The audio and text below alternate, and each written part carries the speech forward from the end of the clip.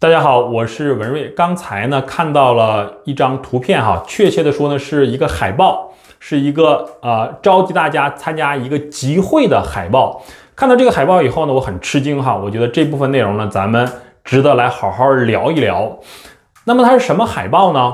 这个海报它的这个背景图片呢，很多朋友可能都看到过啊，就是台北的幺零幺大厦。前面呢，美国的那架运输机啊，缓缓飞过，就是这是背景图片。然后呢，在这个海报上面呢，还有很多字儿哈，字儿都很大，我可以给大家念一念哈。上面呢是四行字儿，怎么说的呢？美军入台，红线已触，武力统一，刻不容缓。这个气氛啊，大家应该能感受到了吧？什么意思？咱们接着聊。然后呢，在中下端吧。还有两行字儿，我也给大家念一下哈：不要跪台办，十万爱国青年大集结。大家可能能进一步感觉到啊，它这里面有个跪台办，跪就是下跪，给别人下跪的那个跪字儿，它是什么意思呢？其实它要想要说的是国台办，然后他把那个国字谐音成跪，就意思是现在美国的飞机都已经到了台湾了，你们还没有什么作为，你这个国台办。是干什么的，对不对？我们不要你，不要你这样一个像台湾跪着的这样的一个机构，就这么个意思。然后呢，他就召集这些爱国青年啊，所谓的十万爱国青年去集结，到哪儿集结呢？地点在北京市西城区广安门南街六岗一号国台办门口。你看这地址说的非常详细哈。那么时间是。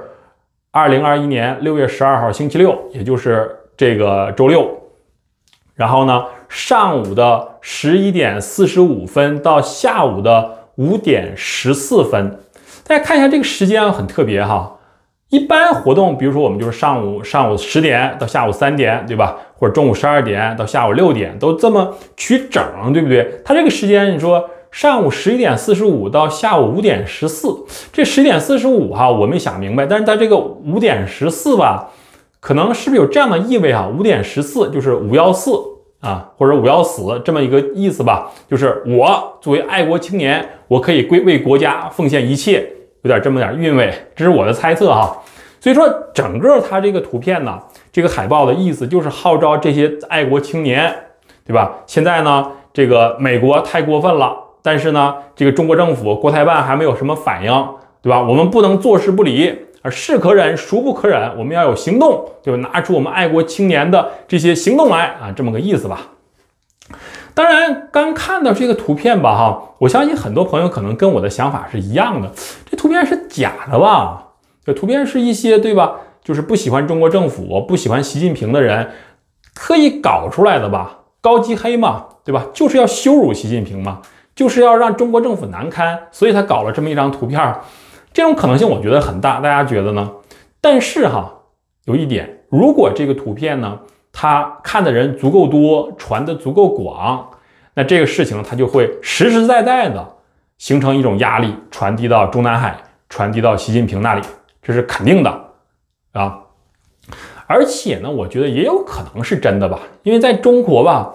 就说，很多所谓的爱国青年，那从小就是接受这样的教育嘛，对吧？台湾是中国啊不可分割的一部分啊，神圣不可分割的一部分。然后台湾如何如何，台湾如何如何。最近就是美国的军队，对吧？进入台湾之日，则是北京武统台湾之时。这话叫的非常响亮，对吧？各种各样的所谓的专家，所谓的什么？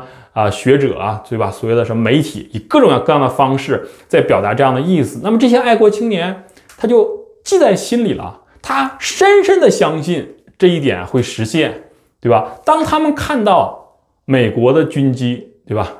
冠名为“环球霸王”的军机运输机，在全球的众目睽睽之下之下，哈，堂而皇之的就这样的啊，大大方方的就。在台湾着陆了，他们什么心情？然后北京呢，还没有什么反应，他们什么心情？他们觉得内心受不了啊，对吧？我的我们大国国威何在？我们大国崛起，如何能承受得了这种羞辱？就基基本这样一种心态吧。所以呢，他们就做出了这么个图片这也有可能是真的哈。两方面我都分析一下，但是不论是真是假吧，客观效果确实是让习近平很难办，让习近平很难堪，对吧？就让全世界看了习近平的笑话了。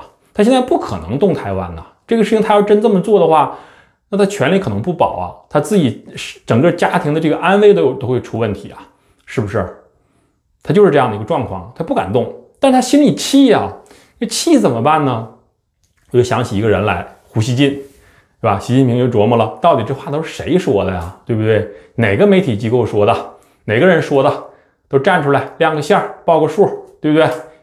那这一几年吧，很多人说过类似的话，但是胡锡进是说的最明确的，反正我感觉是最明确的。那习近平想了，那我对付不了美国，我还对付不了你啊？我还收拾不了你吗？那咱们往下看，看看下面这个胡锡进哈是一个什么样的一种结局，咱们慢慢看哈。总之吧，这次这个事情吧，它就形成了几个非常客观实在的结果。第一就是美国一寻思，你不是红线吗？对不对？那我就碰碰看，一看，哎呦，这所谓的红线呢，是一个很虚的一条线，对不对？我跨了也就跨了。那么下面我们就按部就班的该怎么弄怎么弄，进一步加强和台湾的关系。这是第一个客观效果。第二个客观效果呢？刚才我提到了，就是让全世界看中国政府、看习近平的笑话了。不仅仅是全世界，就是在体制内部，很多人可能都心里偷着乐呢。就是这样，他们就想看习近平笑话嘛。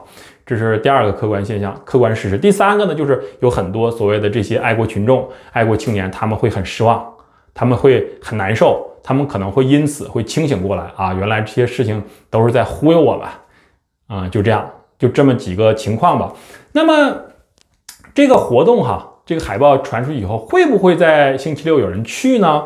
这里面说集结十万人哈，要我估计吧，能去一百人就不错不错的了。为什么呢？所谓的这些爱国青年也好，他们吧都是很多人都是那种就是说精致的利己主义者，他们没有什么自己的信念，他们是时刻在揣摩。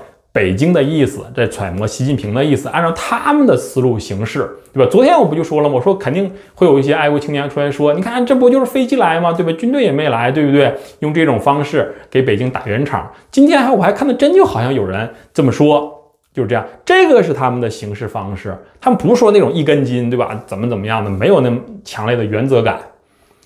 所以说呢，我觉得能去一百人就不错了，就一百人可能都不到，估计。